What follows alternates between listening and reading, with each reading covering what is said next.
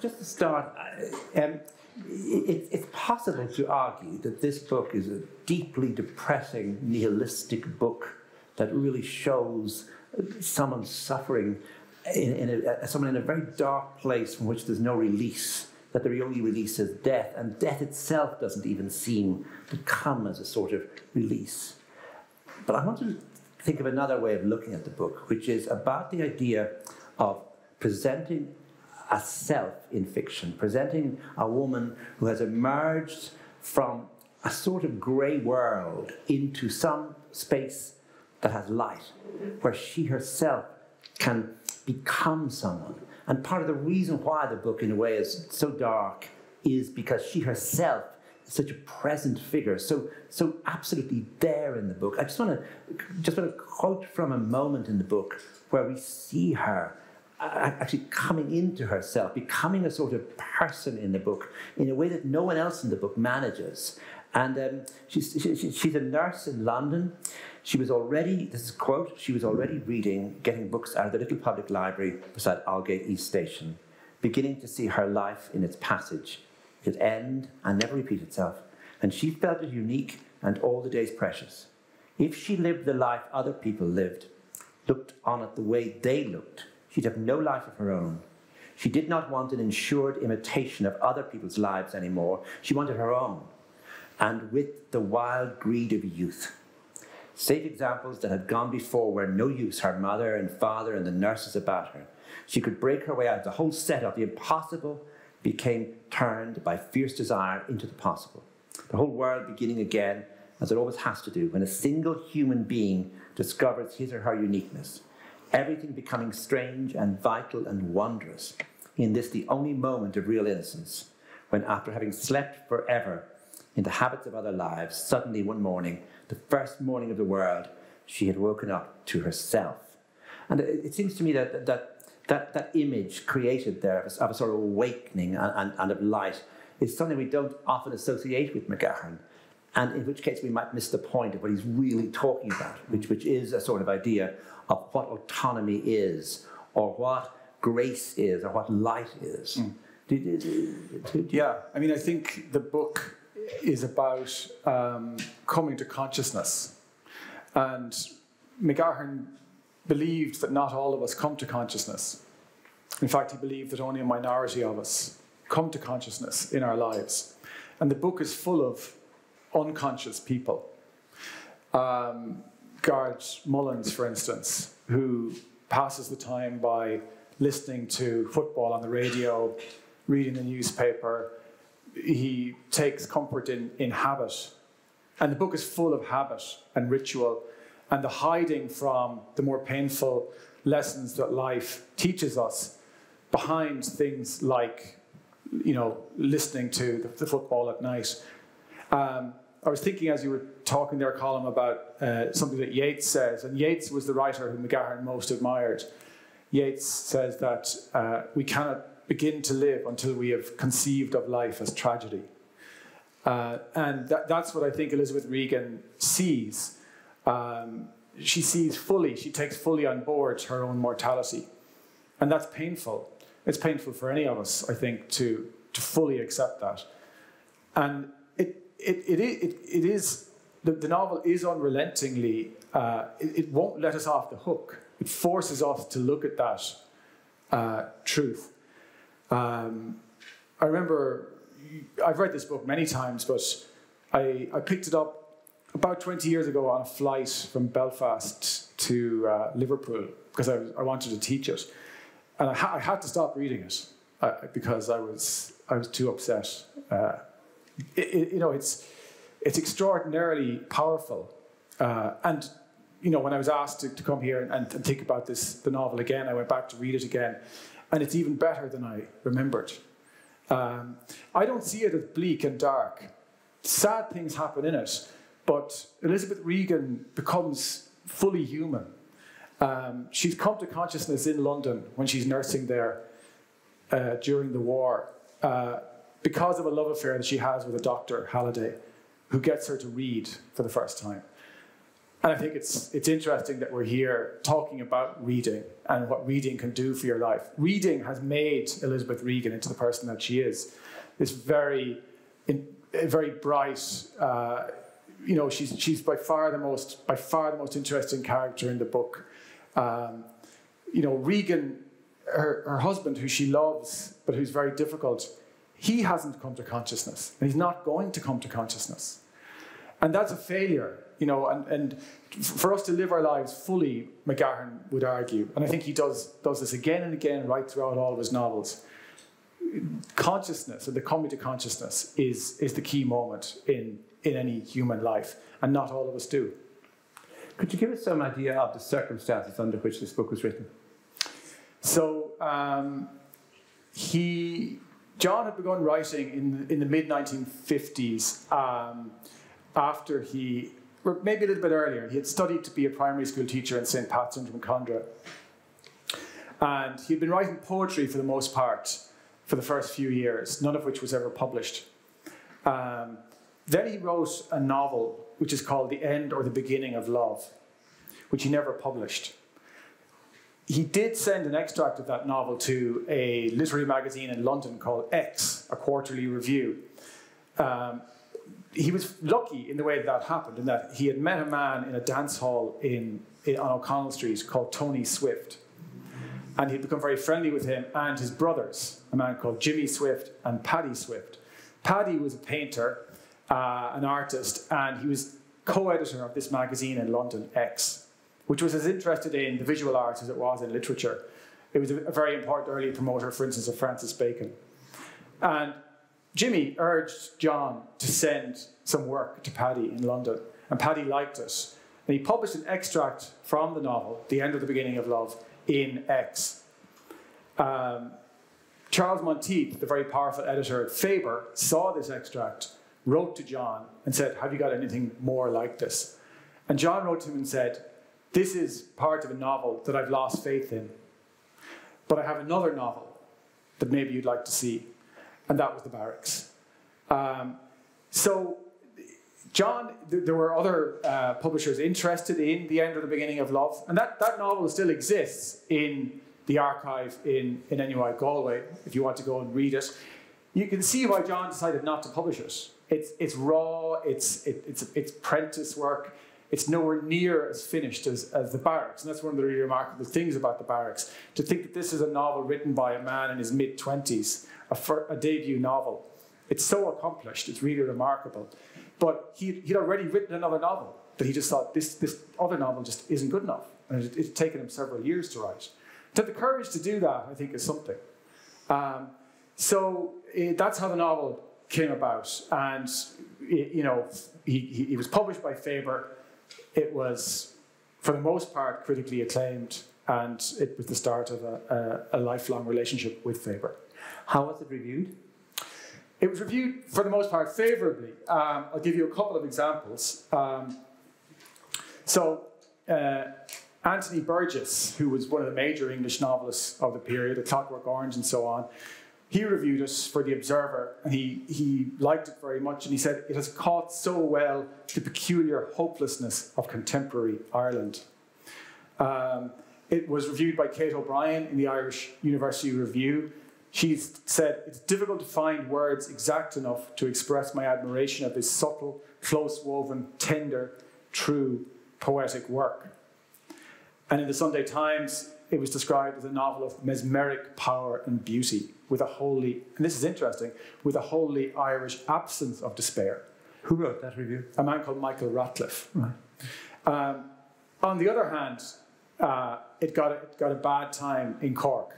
Uh, the, the, the, the, Cork, the Cork Examiner had this to say A section of this book won the AE Memorial Award for 1962, the first work of fiction so honoured one feels that it must have been the first section, because in the middle of his novel, Mr. McGahern allows one of his central characters to think back on her life as a nurse in London and the relationship she had with a young doctor.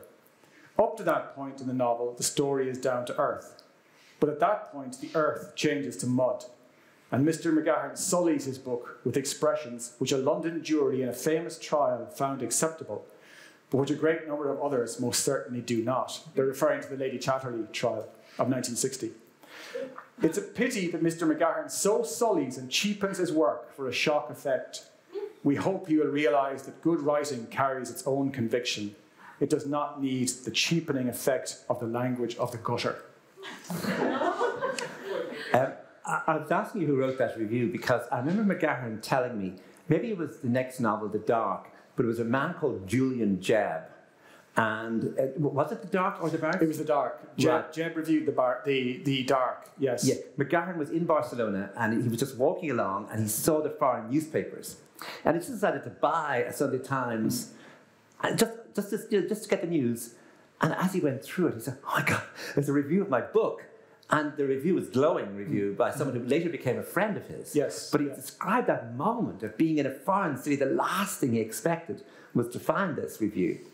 Um, really, if you read all the work, you realize that some of the same tropes come back again and again. I mean, often there's the father figure, he's there in amongst women, he's there in short stories like Gold Watch. Um, often there's the son who went away, or there's the whole business of London as a sort of place that refines the spirit in various ways, or people can find things in themselves that, that, that they didn't find at home.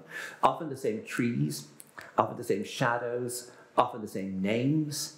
And um, it, it, it leads me to ask you what would it have been like to have been his father, his stepmother, what would it have been like to be his siblings? I mean, was, how did they, you know, you can just imagine if your son, husband, brother wrote a novel in which the entire interior of your life was in some way or other described. And some of it changed, of course, it's fiction, mm. but some of it not. Mm. How, how did the family deal with that? Very badly. Uh, the father, especially. His sisters, I think, were always very supportive of him. Um, and he had, he had a younger brother also who had very little to say, Frankie, who was living in London. Um, his father, the sergeant, Sergeant Frank McGahern, um, when the book was published, he drove to Dublin to confront John in his flat on the Howth Road in Clontarf. Uh, and he brought a priest with him. Um, and he described the book as an immoral disgrace and he banned John from returning to, to his home for Easter. Uh, the, book, the book was published in February. So the father, uh, I suppose not surprisingly, hated the book. It's a, it's a book which describes, you know, this difficult, although, you know, in, in some ways it's interesting how much Elizabeth still loves him. You know, he, I mean, the father figure in the dark is a much much darker figure than the father figure in, in the barracks. And John was fascinated by his father and um, always sought to try to understand him. I think, in a way, John's first book and his last books are attempts to understand his father, the barracks and memoir. Uh, his father was a very uh, clever, uh, interesting, but thwarted character.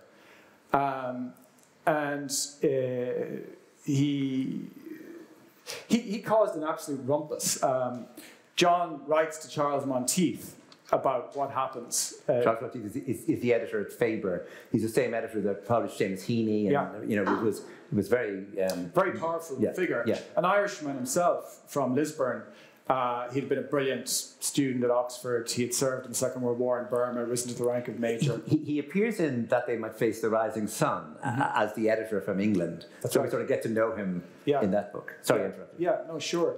Uh, he, he writes to Monteith after the barracks is published. He says, There was frightful shindy at home. I think I mentioned how I was visited here. Then my abused sisters were summoned from the east and west for conference. My brother, who's in London again and has a pretty wild career behind him, is considered for years in worse light than me, so was not brought into the presence for fear of sacrilege. And I was formally expelled from my home and poor inheritance. I got a note, and I have this note on my desk in, in Liverpool. The father writes to him. It's his only written reaction to the book. It's a very strange, short letter. He says, Dear Sean, the blinds are drawn, the map lit, and an ex sergeant of police prefers to ponder in the dark until the lamp shows light, or at least flickers, and the rest is silence. That's a pretty good letter. Isn't it? Pretty... It is. I mean, succinct at least. It, yeah, yeah, it, it is. Um, the, the, the, the, barracks had had a good start because uh, Monteith again had persuaded John to enter a section of it for a literary award in Ireland the year before, 62, um, called the AE Memorial Award, uh, which had been won by people like Patrick Kavanagh in the past. And uh, it was for writers under the age of 35, and no fiction writer had ever won it before. So John enters a section of the barracks and it wins the prize in um, February 1962 and it gets some newspaper coverage. And uh, the father, the sergeant, writes to John about this. The sergeant had remarried at this point to a woman called Agnes, who was John's stepmother.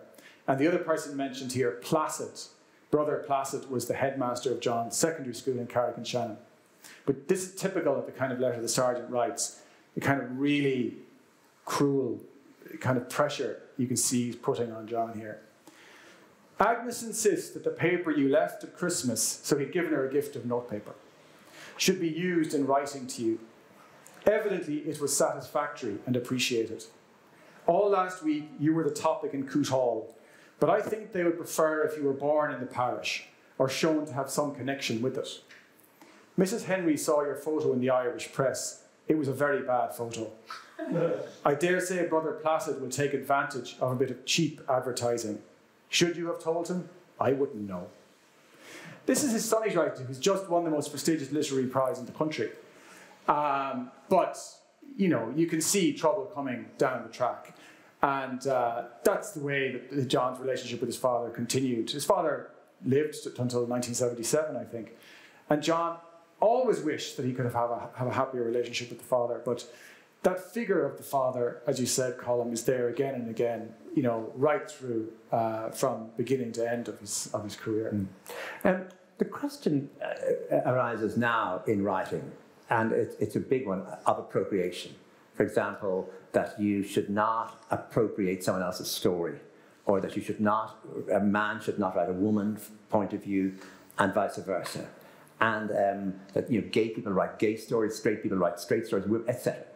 Now, we have um, in Ireland in this period, for example, um, two extraordinarily intense books about um, women, being Brian Moore's Lonely Passion of Judith Hearne and John McGahern's The Barracks, and in, in which the interior life of a woman who's sort of out of place, who somehow or other either knows something more than everybody else, has that consciousness you've been describing, or else has her level of disappointment is so severe that she stands apart. And the male novelist simply, simply, you know, dramatizes this. And at, in the same time, perhaps, as Edna O'Brien is dramatizing these wild young women in the country girls who are having a whale of a time, you know, um, in Dublin. So I just wonder if you could take us through what, what your I mean, what's your take on this idea of, of, of a young man in his 20s writing this story? Well, I think that the, the imagination has to be um, respected. And I think that uh, if a woman wishes to write from the point of view of a man, or a man from the point of view of a woman, I think that has to be permitted. I think that is the nature of fiction. Um, it's it's sort of like you know when you're told sometimes, well, you know, well, you can't talk about Northern Ireland. You know, you're not from there. You can't talk about South Africa, or you can't talk about the war in Ukraine. You're not Ukrainian. But if we do that to ourselves, you know, where does it end? And the, the barracks, I mean, Elizabeth Regan is, is an heroic character. Uh, uh, and, and, clearly, what John McGahern has tried to do is, is, he's tried, which must have been intensely painful, to get inside the mind of his dying mother, who was the death of John's mother when he was nine was without doubt the most important moment in his life. Uh, and from that, from that loss, uh, you know, the, the, pain that that creates and the attempt to understand that pain, uh, all, all of his fiction can be explained from that moment. So I think it's a courageous thing that he tried to do, uh, to try to be, to get inside that woman's mind. And I think it's remarkable that this young man in his mid 20s wrote this book. Um, I think it's tenderly done, I think it's respectfully done. Um, and I, I think it would be, and I, I, you're right, this, is, this has become a problem now for us. Um, can men write from the point of view of women? Can women write from the point of view of men? My students get very het up about these things in Liverpool. Um, but I, I say yes. I, you know, the, the, the, imagine, the imagination has to be allowed to run riot. Can we, can we write Watership Down? Can we write from the point of view of rabbits? yes, we can. Is Peter Rabbit an okay book? Is Squirrel Nutkin acceptable? Can a man write about a woman? Of course, yes. I think so. Yes. Um, there's a particular style this novel is written in, and it's hard to describe because it seems very plain. It seems that things are described in great plain detail. he, he loved those paintings by Velasquez, for example, the ones that were in Seville of ordinary people in a domestic place. The whole idea in this book, say, even of utensils in a kitchen, of flour, of light from a window, of the cat coming in, you know, all those small things that are happening in the light of domestic life. But the sentences, while seeming to be plain, also have a funny edge to them as that, that there's a softening sound sometimes which moves closer to rhythm. So the sentences become sentences of rhythm as much as they are sentences of plain description. So you have a sort of tension going on. You're, you, you're not quite sure why you've just been so moved by an event in a paragraph that merely describes the way light falls or the way someone just going to bed at night and the, the, sort of monotony described. But forget the monotony for a moment and just the thing, the object, the, the, the very thing, the shaving, the, the way he shaves in the morning, the alarm clock. Just take the alarm clock, the fact that she leans over him to turn it off until one morning she just can't do it. That alarm clock then has a very particular, that object in the room, and the way those objects are given a sort of, I suppose, a sort of, um, a, a, sort of glow comes from them, that, that each thing is described in that way.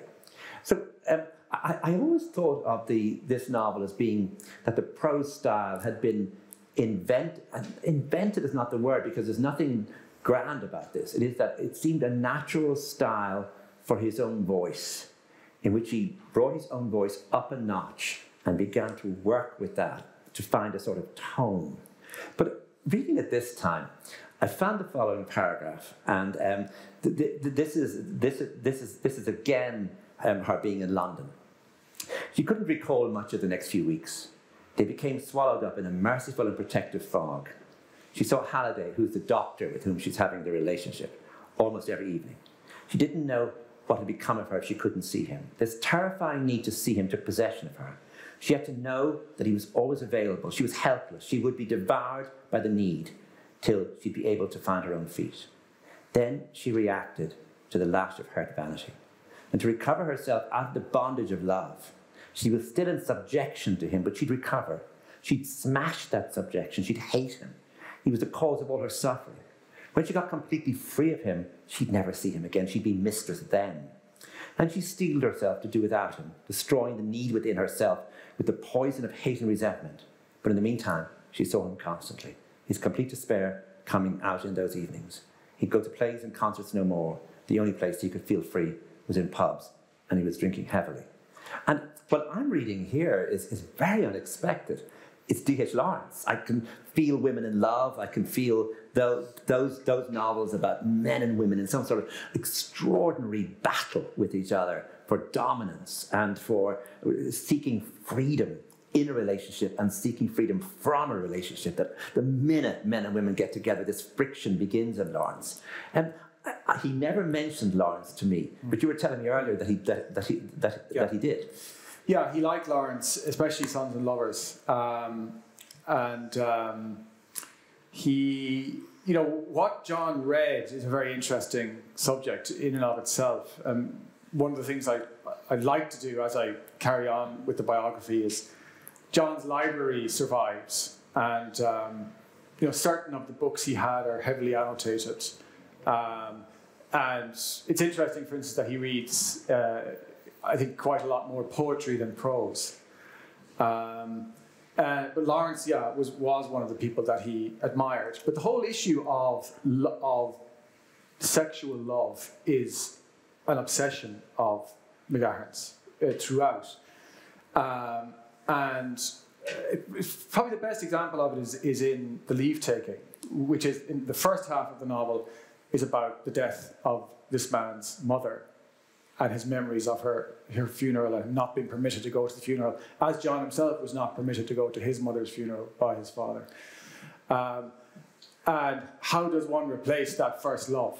And then the second half of the leave taking is, is about him having a number of failed love affairs and then finding someone who, who, who he does fall in love with. So that battle between men and women, that attempt, he, he, there's something he loves that Proust says, where Proust says that um, uh, at, the, at the beginning of all carnal relationships are the seeds of calamity.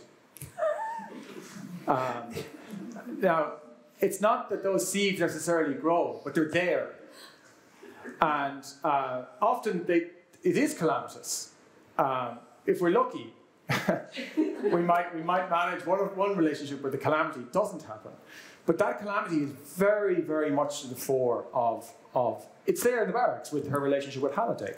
I mean, that, that, that relationship is crucial, but it's calamitous also, uh, you know, in her life. And she ends up settling for Regan. Um, but if you think of, if you go back and read all of McGahern, I would say, I would say that's his single greatest theme is that is how we how we engage with uh, romantic relationships, sexual relationships. How how can we make them work? Isn't there another theme which is solitude, which is the lone figure, the lone Elizabeth here, the lone male figure, say, the pornographer, and um, that that I, you were talking earlier about the influences on him. I mean, I'm talking about Lawrence as being, say, at the time this book was written, D.H. Lawrence would have been all the rage. Mm-hmm. But there was another rage which was coming from Paris, which was um, existentialism. Mm-hmm. Could you just talk oh, well, that? I mean, certainly, you know, the. And, I mean, another writer that John admired a great deal and was reading a lot at the time was particularly Albert Camus. And Camus' book, The Myth of Sisyphus, to me, is, is underlying the barracks frequently. So Elizabeth often steps outside of herself. So there's one scene, for instance, where she's cycling home from the town after she's seen the doctor. And she starts to think, you know, I am Elizabeth Regan. I am cycling up a hill. I'm cycling. I'm cycling up a hill. I'm cycling up a hill. And, you know, Camus says that, you know, Sisyphus is punished by the gods and he's made to push a rock up a hill for eternity, only for the rock to slide down again and again and again. And that is, you know, that the existentialists say, well, that's the human condition. But Camus says in, in that book that we must imagine Sisyphus happy. And I think that McGahern is, is trying to deal with that idea via the character of Elizabeth Regan. We're all, in, he says somewhere else, we're all in the same fix. I mean, which we are. I mean, the, the book the book is relentless in telling us this over and over. Um, so things like uh, Halliday, a hell of loneliness between a dark birth and as dark a death, very Beckettian notions, or uh, the intolerable vacuum of their own lives, the cry of a fumbling loneliness, a shocking comedy. This is life. And um, uh, the exist, you know, what do we do with that? What do we do about that? And uh, you know, Camus was one of one of those existentialists who felt that we can still live a good life despite our mortality and the absurdity of how what we have to put up with. And I think that, you know, ultimately, of course, it's sad that Elizabeth Regan has to go through this illness and die, but the very fact of her struggle with this she isn't entirely hopeless. You know, her attempts to, under, to go to the church, her attempts to pray, her thinking about the rosary, um, ultimately not getting succor from that. But she's trying, you know, like Sisyphus, you know, that we all must try. And I think ultimately, for that, those reasons, for me, it's not, it's, it, it's, it's not a despairing novel. Um, in the mid 90s, there was a thing in France called L'Irlandais Imaginaire, and they, they shipped vast numbers of Irish writers over to Paris. And we were all selling our wares in various places to, to the, I must say, to the bemusement of the French generally, but um, except for John McGahern.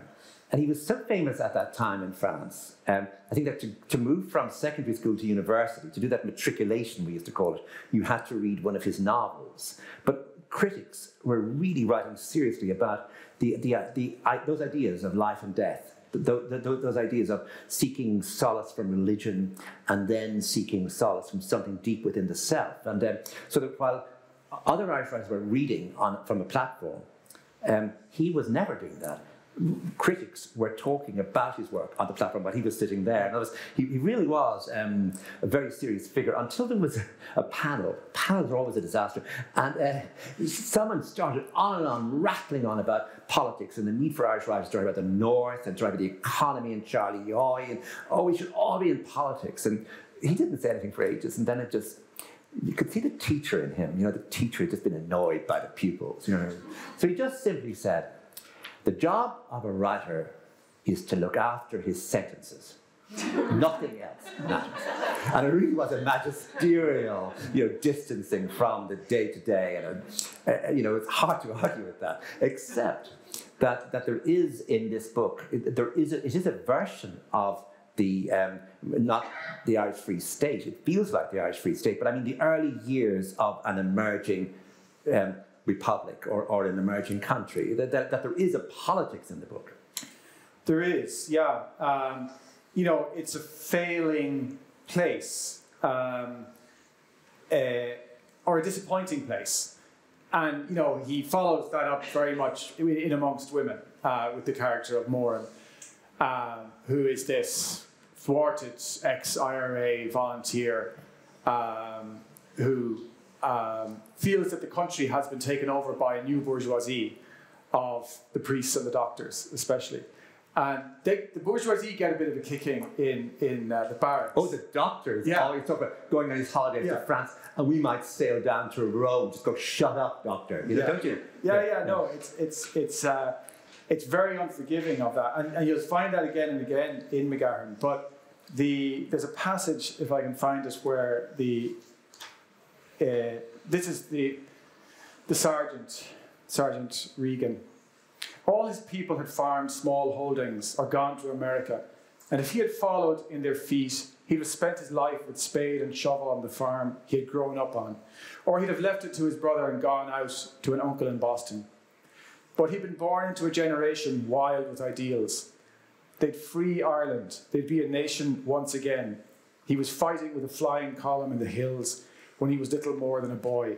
He donned the uniform of the Garda Síochána and swore to preserve the peace of the Irish Free State when it was declared in 1920, getting petty promotion immediately because he'd won officer's rank in the fighting. But there he stayed. This is exactly a description of John McGahern's father, Frank McGahern. This is what happened to him. He, he was in the IRA when he was a teenager. He, uh, he, he, he used to say, as Moran says in Amongst Women, he used to say at home, to the children that he was never happier than when he had a man in the sights of his rifle. Uh, that the only time he'd known true happiness was when he was at war. Uh, the excitement of that. And in a way, not having to think. You know, just get out of the ambush and keep moving.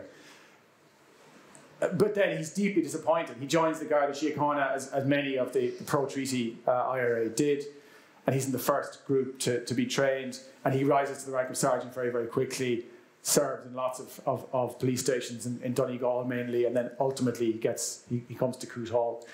Um, but it's a very disappointing.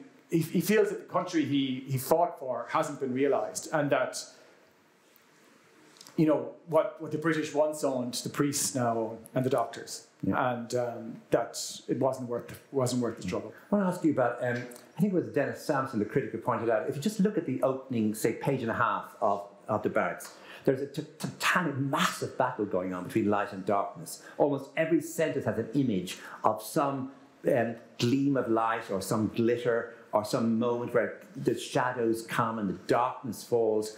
And, and, really, if you read it as, as, as a battle, as a massive battle, but you know, night falling and the people inside trying to keep some sort of light going from the fire, from the Sacred Heart lamp. Um, the, and the, in, in the very last page, as I mentioned, of Cuchulainn.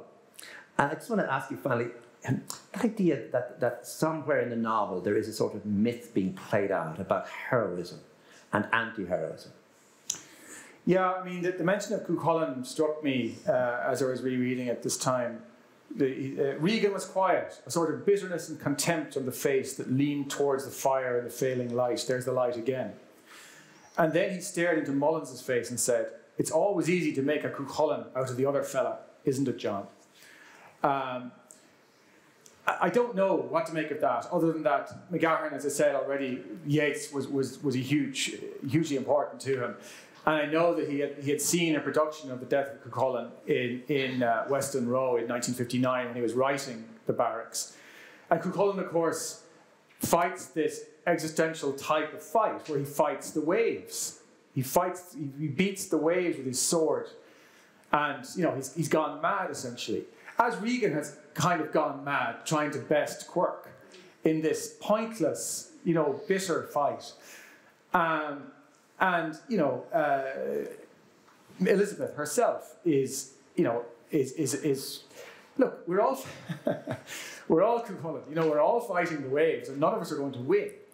Um, but I think it happens again at the end of, of, of Amongst Women when the, the faded tricolour is, is, is on the coffin of, of Moran and uh, this old man appears from the crowd and he's described as something along the lines of from the time of Finn McCool.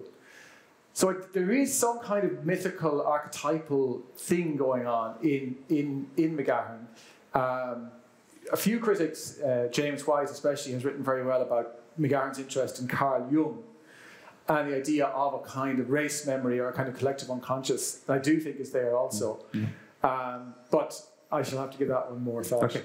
Thank you very much. Uh, Frank, it's really good of you to come and, and, to talk to us about this book. And thank you very much, everyone, for coming.